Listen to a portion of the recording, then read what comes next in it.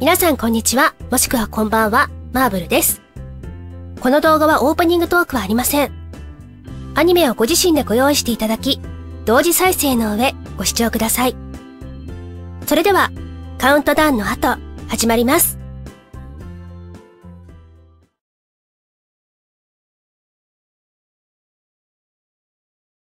スタートです。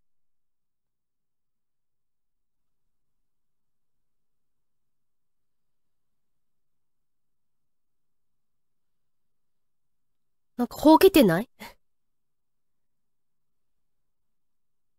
あー、これが効いてんだ。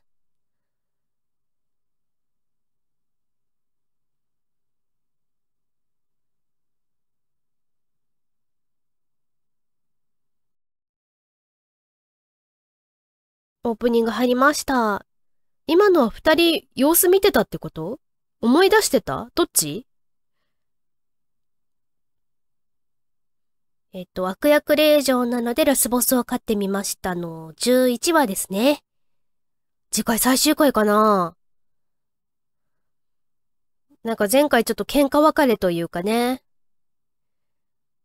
うーん、アイリンが誤解してるような気もしなくもないけどね。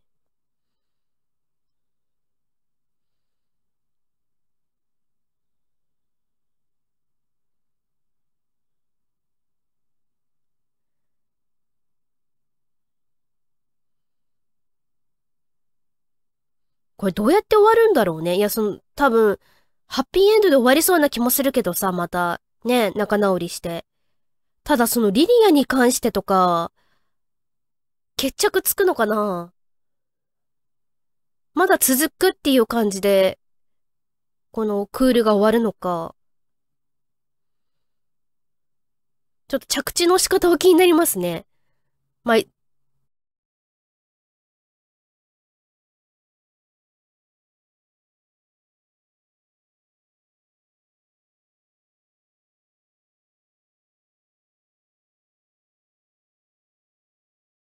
オープニング終わりました。いつだって悪役令嬢は断罪される。やっぱ来てたんだ。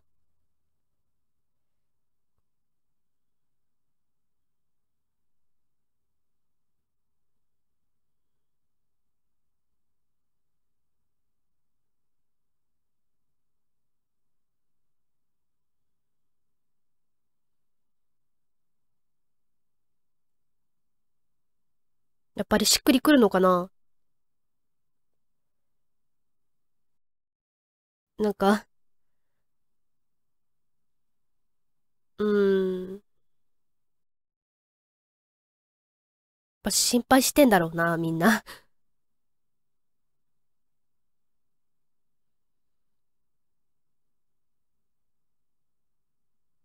うーん、でしょうね。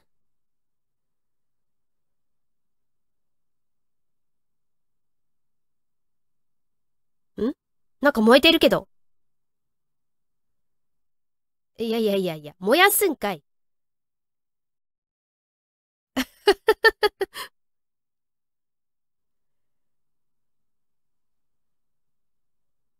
え、何？どうした？急に。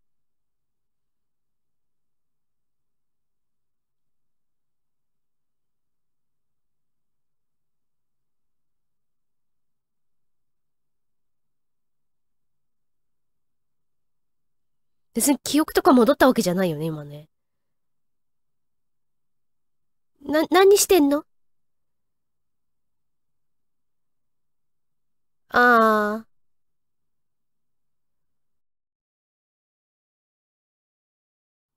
事務処理してんの？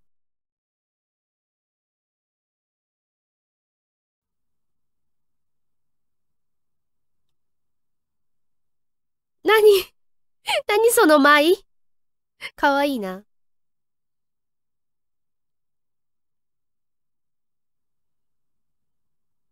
舞踏会へのドレス？あー。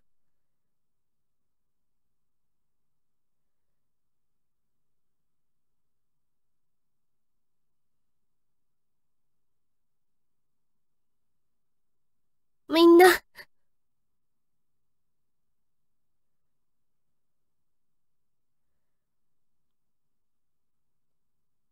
なんか魔物たち可愛すぎだよね。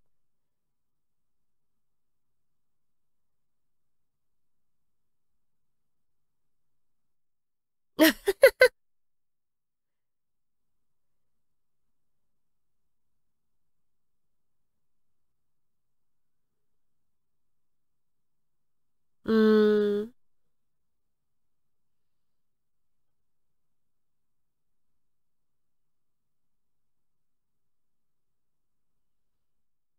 何また踊んのアーモンド。え、みんなで踊ってる。いや、魔物たち可愛すぎんか本当に魔物か？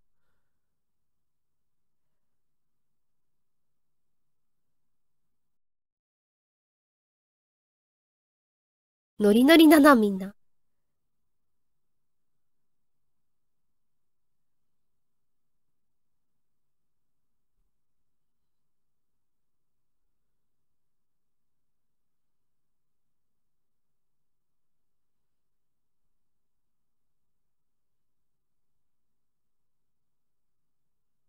なんかグイグイ行くより引いた方がみたいなのあるよね。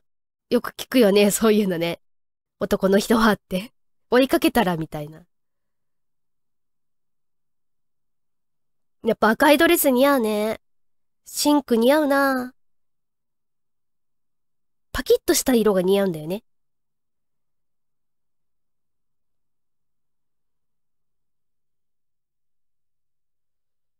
後悔させるって？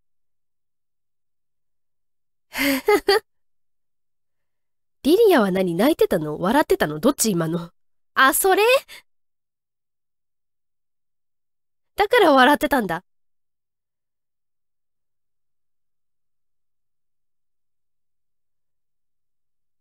やめて。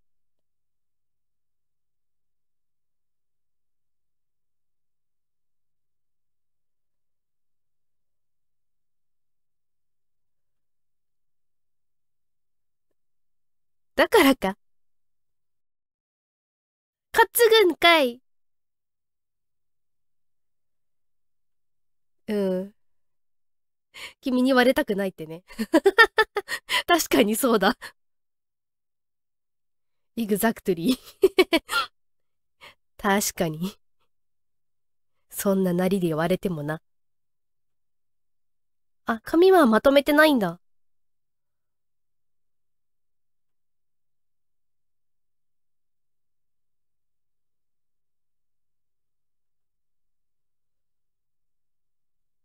記憶を失ってもやっぱり好きになっちゃう？惹かれてしまう？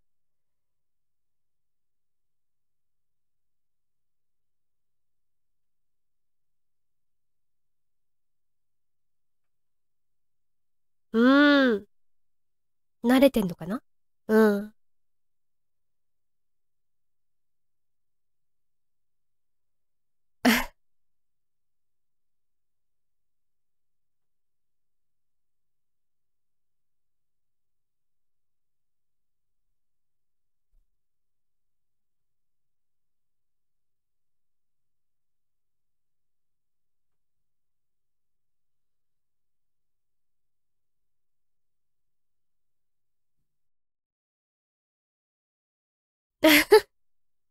ちょっとグイグイ来られるとね。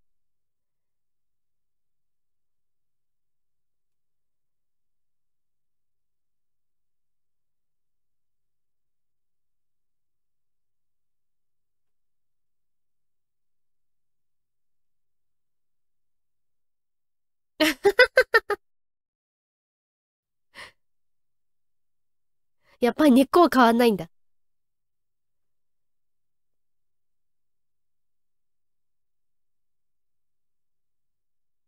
割と。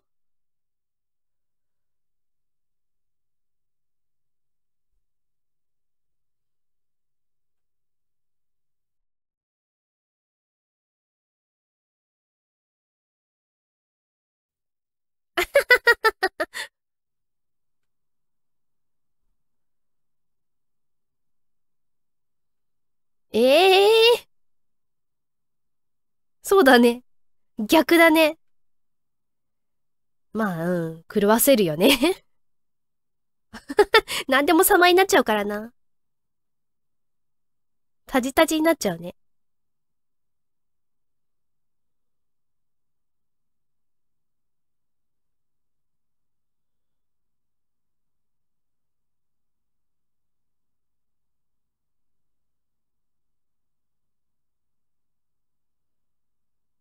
甘いなぁ。やっぱり髪まとめてないとダメ？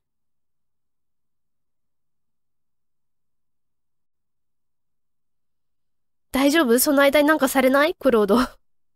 またなんかリリアがなんかしない？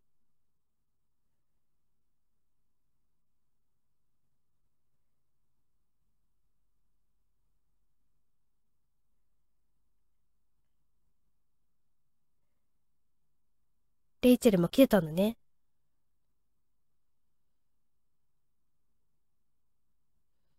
ひっぱたいたことよりも涙なのかな？あ、そっち？あー、やはりな。お主か。やはりお主なのか。B パートかな？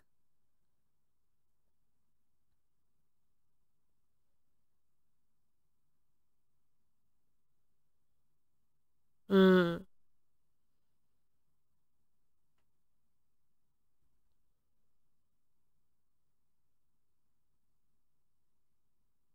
やっぱり記憶消したりしたのって、エレバスってこと？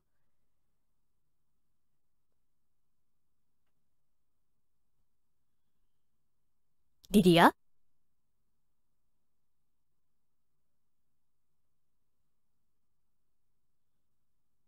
一人しかいないよね。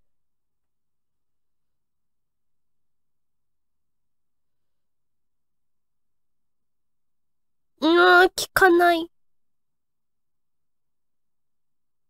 捉えたの？うーん。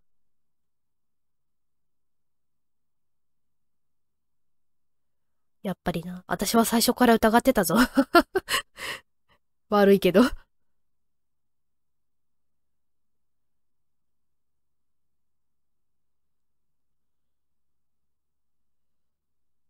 ああ、だってファンディスクでラスボスなんだもんね。やっぱそういうのは。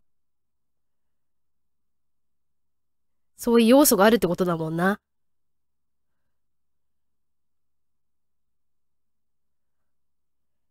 役者が揃ったってか。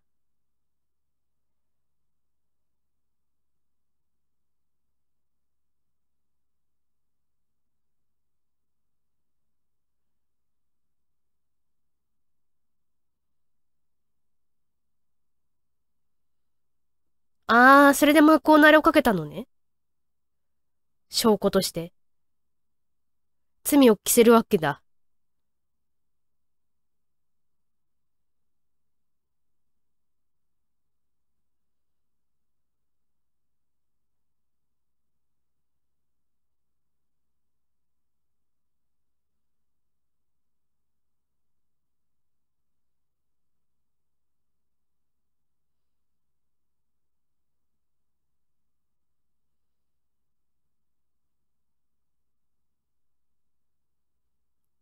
うえー。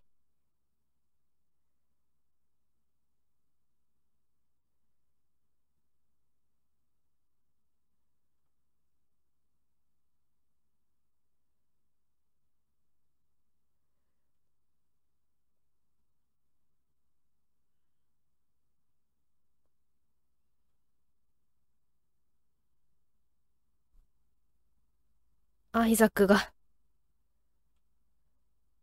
なんか感づいてるかもね。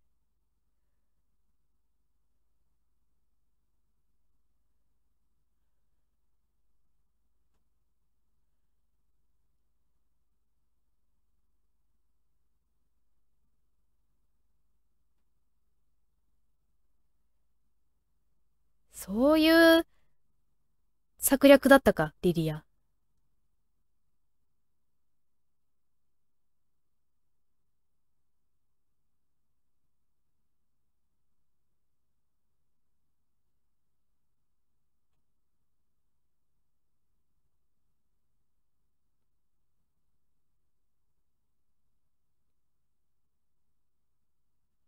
お芝居すんのね。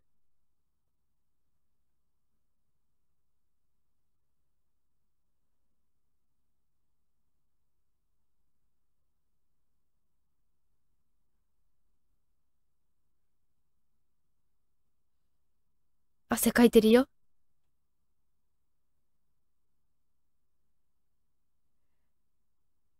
きついな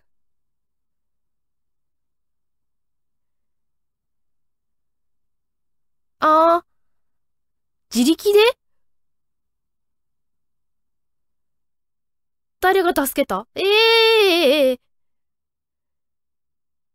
エレバスか。おー。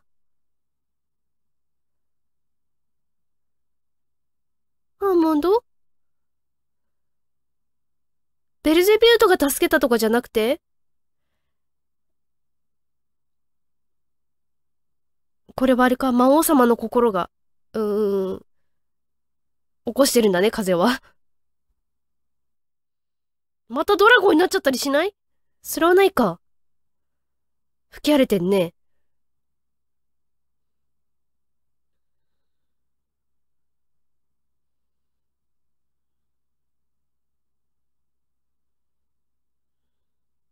え？片目が？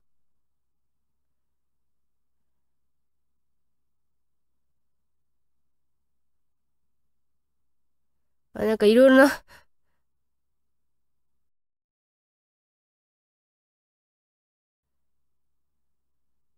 ああ。戦争になっちゃう？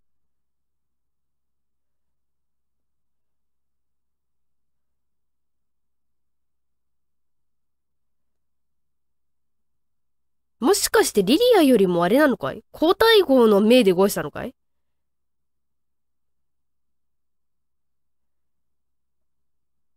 アーモンドどうした？拾った？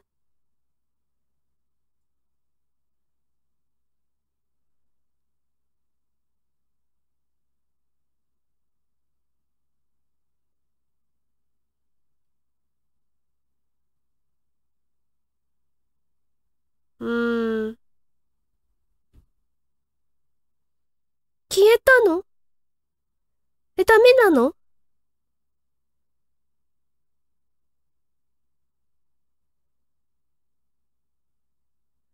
え、助からないの？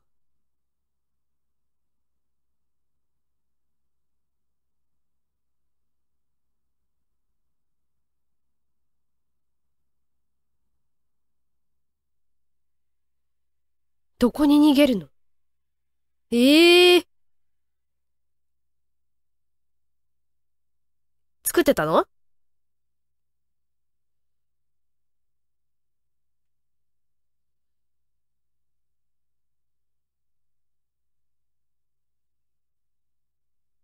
わー。なんか、うん。設計図渡してたね、そういえば。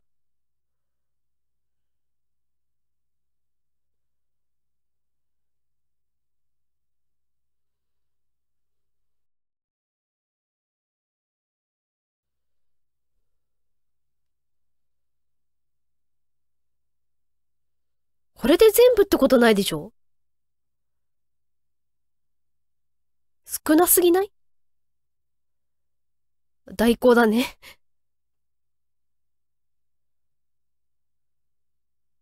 うーん。なるほどね。想定はしてたんだ。いや、まんまやんけ。まんまやんけ。もっとなんか、おうおう、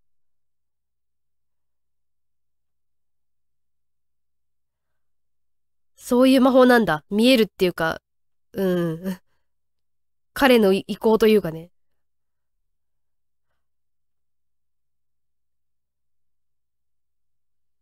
うん、そうだよね。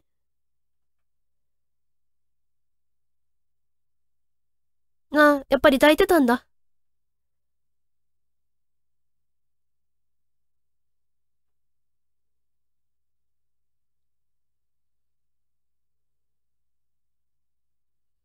もしかして、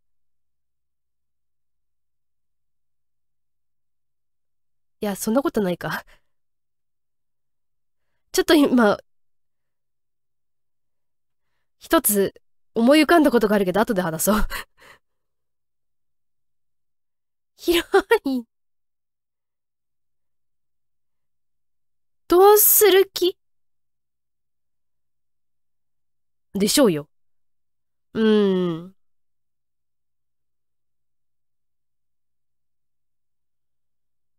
聖剣使ったことで、あれかい？記憶失ったのかい？え、な、な、な、な、な、何をしたの？ねん。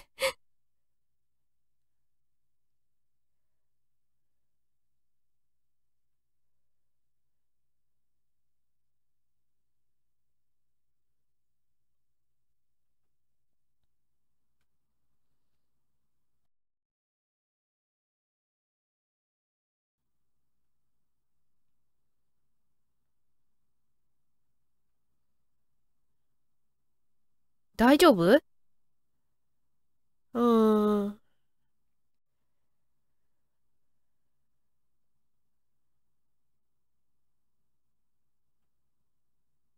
いやー、君たち。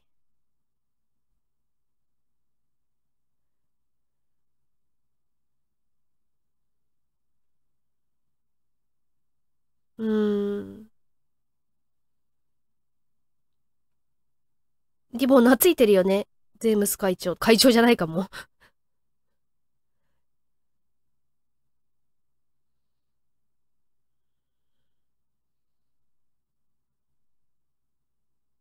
ああ、来たか。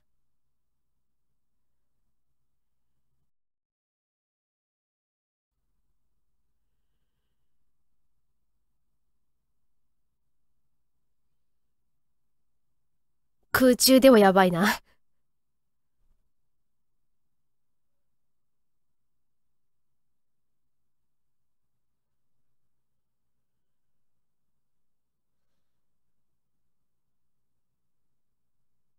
えー、どこ行くのそれ。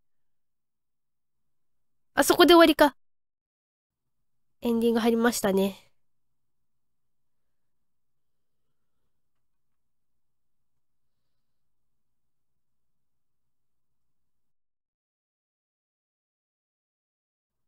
なんかちょっと、今回のリリアを見てて思いついたことがあるんですけど、もしかして考えてるこの逆なのかなっていう、今まで考えてたのとね。それだったらちょっと面白いかなって思ったことがあるんですけど。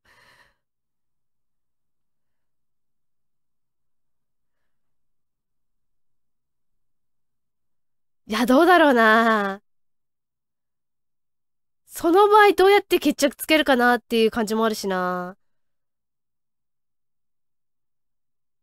まあ、次回多分決着はつくよね。12話だし、13話あるとは思えないんだよな。次回で終わりかな？まあ、一旦終わったとしてもまたもしかしたらね、ツークールとかいつかあるかもしれないしね。一旦はなんか解決しそうですよね。でもエレファスも結構強敵というか魔法使うからね。どうなんだろう？聖剣と、その魔法の力は相反するのかな？対抗できるんかな？はい。悪役令嬢なのでラスボスを飼ってみましたの11話ですね。見終わりました。やっぱりエレファスが噛んでましたね。これはあれかな？恐ろしい女性って言ってるのはリリアのことなのかな？でもなんか、エレファス捕まえてっていうかなんかそんなようなことをさ、パーティーの時に言ってたの交代号だったからさ、どっち？ってなったんだけど、今回のね、なんかクロードとの最後の方のやりとりで、記憶を消したのは君が、みたいなこと言ってましたよね、クロードがね。だから、それに関してはリリアが多分やったんでしょうけど、なんか交代語も絡んでるっぽい感じもしますよね、やっぱりね。てか、エレファスを使ってたのはなんか交代語っぽい感じもして、え、どっちなのかなっていうのがちょっと、はっきりしないというか、ちょっと曖昧な感じですよね。まあ確かにちょっと交代後も怪しいなとは思ってたけど、でもなんか、うん、どうなんだろう、リリアと交代号が結託してるというか、もしくは、リリアが交代号も支柱に収めてるか。強いな。でもなんかね、交代号も結構強キャラ感がありますよね。うん、なんかそのだから、高級にいる捕らえられてる魔法使いたち魔術師たちを多分束ねてるというかねその利用してるのはなんか交代号のような気がしますよね位の高い人間じゃないとそういう権限を持ってなさそうな感じはするんですよね。でエレパスはパンディスクではクロードが魔王に戻す役割を持ってるっていうことはつまりあれかな？ゲームではその人間に戻ってしまったクロードを前回ちょっと暴走してしまったね。魔物と同じような感じでさ。戻ってきてほしいっていう意志で魔王に戻すってことなのかな？彼に戻ってきてほしいみたいな感じなのかな？っていうことはさゲーム内ではさ誰がクロードを人間にしたんだろうね？っていうかなんで人間になったんだろうね？なんかそこら辺は描かれてないよね？なんかその見てる私たちってその元のゲームの内容を知らないから推測するだけしかできないというかねこうなんじゃないかなとかこうなのかなって考えることしかできないのでまあそこら辺が明らかになってないとね私たちは推測するしかできないですよね。いやーにしても魔物たち可愛すぎですね。アーモンドにしてもそうだし、今回ちょっとダンス踊ったりとかしてましたけどね。あんな可愛い魔物たちがいるかね？みんな可愛いよね？なんかあのモコモコのね、モフモフの、なんか羊みたいなのもいるし、なんかそんな怖いっていう魔物いないよね？あサイクロプスだっけ？なんだっけ？目が一つのやつ。まああれがちょっとね、図体でかくてあれだけど、それでもなんか可愛いめにちょっとデフォルメされてるよね。いやでも、アーモンド大丈夫かな？死んでほしくないな。なんか魔王様が何とかしてくれるかな抱いてたけどね。抱いてたけど、あの後どうなったっけ？いや、助かるといいですね。アーモンドね。アーモンドはアーモンドですごい大事なキャラだと思うので。まあまあ、クロードがね、すごい大事にしてるしね。あと、アイリーンの聖剣の力と、エレファスの魔法の力って相反するのかな？あれは対抗できるんですかね？聖剣の乙女の力で。今回ちょっとなんかね、最後の方対抗してるような描写ありましたよね。まあ、完全にはその、対抗はできないのかもしれないけど、隙をつけばできるとかそういう感じなのかな？あとなんかこの作品における魔法の定義とかさ、なんかそういう細かいところってあんまり描かれてないから、魔法がどういうものかってわかんないよね。ちゃんとね。あと、見てる時にちょっと、あ、もしかしてこうなのかなって思ったことがあって、なんか今まではリディアってその結構ねいろんな男性キャラにいい顔してたのはまあ多分その自分の駒にするために攻略して自分の駒にしてこういろいろねお話を操作してたのかなって思ってて。まあその理由はさなんか楽しいからなのかなとかこうなんかその快楽主義とはちょっと違うんだけどただお話を楽しみたいのかなっていうふうに思ってたんだけど、まそれもあるとは思うんですけど、もしかして、今回のリディアの言動を聞いてたら、もしかしたらその、彼女が執着してるのってアイリーンなんですかね？なんか男性キャラとか別にどうでもいいやって思ってそうな感じしません？むしろその、うーん、どうなんだろう？アイリーン様と対決するというか、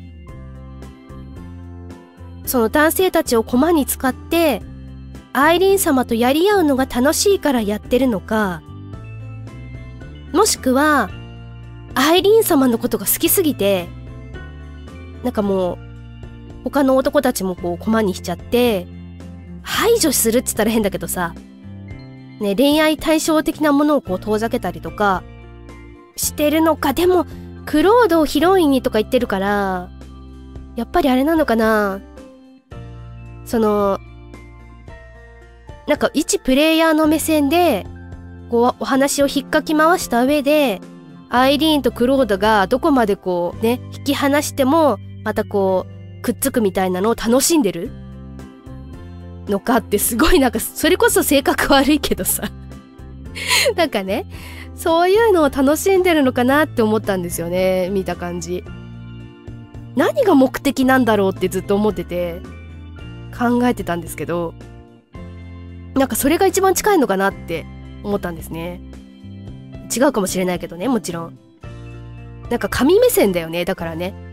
ああ、こんなに引き離して妨害しても、またくっつくわ、面白いみたいな っていうかなんかそういうのを楽しんでるのか、